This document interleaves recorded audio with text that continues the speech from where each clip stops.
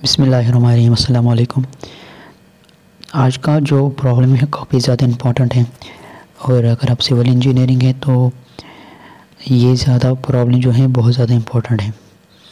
पहले मैं आपको समझाता हूँ, किस तरीके से इम्पोर्टेंट है। सपोज़ आपने डिज़ाइन ऑफ़ फुटिंग तो किया डिज़ाइन ऑफ़ कॉलम तो बना दिया आपने, कि कॉलम पे कितना लोड आ सकता है बकलिंग कहाँ होगी, और अपना जो कॉलम है, वो कहाँ पे फेल होगा। लेकिन आपने कॉलम तो बनाया है, लेकिन आपको कॉलम को सॉइल में तो रखना है ना? सॉइल में रखना है तो आपको ये भी चेक करना है कि सॉइल कब फेल होगी। क्योंकि अगर सॉइल ज़्यादा सैंडी हो गई या वाटर परसेंटेज में ज़्यादा होगा तो आपका तो जो कॉलम है वो तो वैसे ही रहेगा, लेकिन वो सॉइल में फेल होगा, ठीक है? या तो वो टिल्ड होगा, ठीक है ना? या तो वो सिंक होगा, यानी लोकल शेयर और जनरल शेयर फेलियर की कैटेगरी में वो आ जाएगा, ठीक है? तो ये काफ़ी ज़्यादा इंपॉर्टेंट है कि डिज़ाइन आप दी कॉलम के साथ साथ आप चेक करें कि आपकी जो सॉइल में उसको रखेंगे आप, तब जाके वो सॉइल में क्या वो परफेक्टली वर्क करेगा कि नहीं करेगा, ठीक है? तो ये प्रॉब्लम आज हम सीखने वाले हैं। Design of footing to carry the load of 3000 kilonewton to place at the depth of 1 meter. In a soil having the following properties, gamma 20 kilonewton per meter cube cohesive 25 kilopascal angle of internal friction 30 degree assume soil fails by general shear failure, water table is at large depth मतलब water का कोई effect नहीं है, क्योंकि large डप्ट हैं मतलब B से ज़्यादा है तो इन्फ्लुएंस जो से वो बहुत नीचे हैं तो वाटर का कोई भी इफ़ेक्ट नहीं पड़ने वाला। Bearing capacity for five thirty degree are given below. ये कुछ वैल्यू गिवन है, ठीक है ना? हमें क्या निकालना है? हमें निकालना है जो हम फुटिंग जो हम फुटिंग बनाएँगे, ठीक है ना? जो हम फुटिंग बनाएँगे कॉलम के लिए, उसकी हमें डायमेंशन निकालनी है बी सो दैट कि क्या हमारा जो फुटिंग है वो कोलेप्स नहीं होगा, वो फेल नहीं होगा। ठीक है? तो बहुत से मेथड है अपने पास। आई कोड मेथड हैं तर्जागिज मेथड हैं, ठीक है ना? और भी मेथड हैं मेयर होफ मेथड हैं। तो इस प्रॉब्लम में हम तर्जागिज एनालिसिस से हम जो है बी निकालेंगे फाउंडेशन सो दैट बी निकालेंगे फुटिंग की सो दैट की जो फुटिंग है हमारी, ये कोलेप्स नहीं हो, ठीक है? तो सबसे पहले ये वैल्यू गिवन है अपने दर्जा की, इसके पैरामीटर्स आई कोड पैरामीटर्स और मेयर ऑफ़ पैरामीटर्स ठीक है? तो हम दर्जा की मेथड से हम डिज़ाइन करेंगे अपनी फुटिंग को, ठीक है? तो पहले हमें जो गिवन है कि वो अपना जो कॉलम है फुटिंग है उस पर कितना लोड आने वाला है? P depth of footing one metre है gamma unit weight twenty kilo newton per metre cube cohesive twenty five kilo pascal और angle of internal friction thirty degree हमें जो फेलियर रिज्यूम करना है, वो जनरल शेयर फेलियर रिज्यूम करना है। No water table effect क्योंकि वाटर जो है, बहुत ज़्यादा नीचे हैं। तो हमें क्या निकालना है? बी या डब्ल्यू विड्थ ऑफ़ फुटिंग हमें निकालनी है, ठीक है? यहाँ पर फास्ट फुटिंग है। इसकी हमें यही विड्थ निकालनी है, ठीक है ना? बी निकालनी। ठीक है? आगे चलते हैं। सबसे पहले हमें क्या निकालना है? To find the safe bearing capacity Q S ठीक है? तो Q S is equal to net safe bearing capacity plus discharge plus surcharge जो क्यू का वैल्यू वो बराबर होता है gamma into depth of foundation ठीक है? गैमा भी गिवन है और डेप्ट ऑफ़ फाउंडेशन भी गिवन है लेकिन नेट से बेरिंग कैपेसिटी किसके बराबर होता है? अपान वे सेफ्टी फैक्टर ठीक है ना? एन यू सॉरी ये एन यू है। Ultimate net ultimate bearing capacity upon by factor of safety किसके बराबर होता है? नेट से बेरिंग कैपेसिटी ये वैल्यू यहाँ पे पुट करके इस इक्वेशन में डाल के एन एस के बदले भी Q N U upon by F divide by Q plus Q ये क्यू ये है, ठीक है? But net but net bearing capacity किसके बराबर होता है? बेरिंग कैपेसिटी माइनस सरचार्ज तो इसके बदले हम रिप्लेस करके ये वैल्यू डालेंगे प्लस क्यों? क्रॉस मल्टीप्लिकेशन करके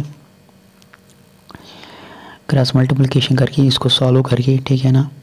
तो हमें ऐप का वैल्यू जो फैक्टर ऑफ़ सेफ्टी हम लगाएँगे एज्यूम करके थ्री तो थ्री फुट करके हमें जो सेफ़ बेरिंग कैपेसिटी की इक्वेशन मिल जाएगी, वो कुछ इस तरह से मिल जाएगी, ठीक है ना? आप पहले पुट करके आपको सब आ जाएगा। तो multiplying both side by A यहाँ पे भी ए मल्टीप्लाई करेंगे और इस साइड में ए मल्टीप्लाई करेंगे। क्योंकि क्यू एस इंटू ए किसके बराबर होता है? P Q S into A is equal to P next step में दिखाऊँगा आपको। Q S into A is equal to zero point seven six seven Q plus zero point three three Q U into A but Q S into is equal to P इसका unit है kilo newton per metre square इसका unit है kilometre per square तो metre per square metre per square cancel हुआ kilo newton जो कि force है वो thirty three thousand kilo newton है. तो क्यू एस के बदले हम पुट करें कि थ्री थाउज़ेंड किलो न्यूटन यहाँ पे तो हमारे पास कुछ इस तरीके से इक्वेशन आएगी. इसको हम इक्वेशन वन नाम रख देंगे, ठीक है? सो तर्जा की बेरिंग कैपेसिटी की इक्वेशन कुछ इस तरीके से है. आपने पहले भी वीडियो देखी होगी, आपने उसमें आप देखा होगा। C cohesive N S S C Q N gamma बेटा ये सब वैल्यू क्यों है? N N C N C भी क्यों है? और जो एस सी एस क्यू और एस गामा है, ये डिपेंड रहते हैं कि शेप ऑफ़ द फुटिंग कैसी है, ठीक है ना? तो फॉर सिट्री फुटिंग क्या होता है? S C S Q S gamma one के बराबर होता है। सब वैल्यू हमें पता है सब वैल्यू इस इक्वेशन में डालेंगे, ठीक है ना? तो इस इक्वेशन में डालने के बाद हमें जो यहाँ से इस इक्वेशन में, इस इक्वेशन में डालने के बाद हमें जो क्यू का वैल्यू कुछ इस तरीके से मिल जाएगा, ठीक है? अब क्या करना है? क्यू और क्यू यू ये जो क्यू है और क्यू हमें क्यू यू जो ये हैं और क्यू पता है हमें किसके बराबर होता है? Gamma into depth of foundation वो सब इक्वेशन है, ये वैल्यू और ये क्यू का वैल्यू हम इक्वेशन वन में यूज़ करेंगे। इक्वेशन वन कौन सी है अपनी? ये वाली। तो इसमें हम यूज़ करेंगे। तो यहाँ से हमें जब यूज़ करेंगे तो यहाँ से हमें बी का वैल्यू मिल जाएगा। सारा वैल्यू पुट करके हमें बी का वैल्यू मिल गया यहाँ पे फोर पॉइंट ज़ीरो एट ये किसके लिए है? सिट्री फुटिंग के लिए। तो अगर हम सिट्री फुटिंग करेंगे तो उसमें हमें विड्थ ऑफ़ दी फुटिंग जो रखनी है four point zero eight metre रखनी है। तो बाकी वैसे हैं, सिर्फ़ जो एस सी एस क्यू और एस गामा है, वो वैल्यू चेंज होगा। स्केयर फुटिंग के लिए ये S C S Q S gamma value होता है। फिर से ये वैल्यू ये वैल्यू जो है, फिर से ये जो वैल्यू है ये हम किसमें पुट करेंगे? ये हम इस इक्वेशन में पुट करेंगे। ये इक्वेशन सेम रहेंगे, सिर्फ़ S C S Q S gamma value change होगा। ठीक है ना? डिफरेंट सिटर फुटिंग के लिए सर्कुलर फुटिंग के लिए रेक्टेंगुलर फुटिंग के लिए। तो ये जो आप वैल्यू पुट करेंगे तो आपको जो क्यू यू वैल्यू मिल जाएगा। कुछ इस तरीके से मिल जाएगा, ठीक है? फिर से आप क्यू यू और Q Q value equation one में डालेंगे तो वहाँ से आप भी का वैल्यू मिल जाएगा टू पॉइंट डबल वन ठीक है? तो सर्कुलर फुटिंग हम जूम करेंगे, क्योंकि हमें डिज़ाइन करना है ना तो डिज़ाइन हम सिट्री फुटिंग भी रेक्टेंगुलर सर्कुलर भी कर सकते हैं। तो अभी हम सर्कुलर फुटिंग लेंगे तो उसमें एस सी एस क्यू और एस गामा की वैल्यू ये है। सब वैल्यू हम किस इक्वेशन में पुट करेंगे? फिर से इस इक्वेशन में हम पुट करेंगे। ठीक है ना? तो इस इक्वेशन में पुट करने के बाद आपका जो है Q U bearing capacity net bearing capacity जो बेरिंग कैपेसिटी जो मिल जाएगी, वो यही मिल जाएगी। फिर से आप क्यू यू और क्यू ये दो किसमें यूज़ करेंगे? इक्वेशन वन में। इक्वेशन वन कौन सी है? ये है इक्वेशन वन ठीक है ना? इसमें आप यूज़ करेंगे। इसमें आप यूज़ करके आपको बे का वैल्यू फिर से मिल जाएगा। ये वैल्यू तो रेक्टेंगुलर के लिए भी ऐसा है। S C S Q value पहले आपको कैलकुलेट करने हैं। फिर से आपको ये वैल्यू से आपको क्यू यू मिल जाएगा और क्यू यू और क्यू वैल्यू आपको फिर से इक्वेशन वन में डालना है और आपको वहाँ से बी मिल जाएगा। ठीक है ना? अब रेक्टेंगल है तो एल का भी होगा इसमें। रेक्टेंगल का जो एल का है वैल्यू वो one point two five into B B का हमें मिला है। बी का वैल्यू इसमें बढ़ करके हमें एल का वैल्यू भी मिल जाएगा। अब यहाँ पे आप कंक्लूजन आप देख लीजिए यहाँ पे।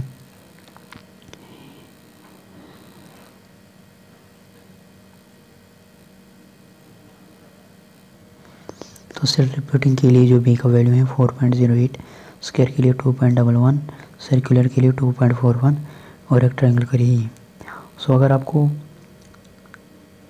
अगर आपके पास स्पेस कम है तो आप यहाँ से देख के अपने हिसाब से कौन से सिलेक्ट करेंगे, जिसमें सबसे कम विड़त हो, ठीक है ना?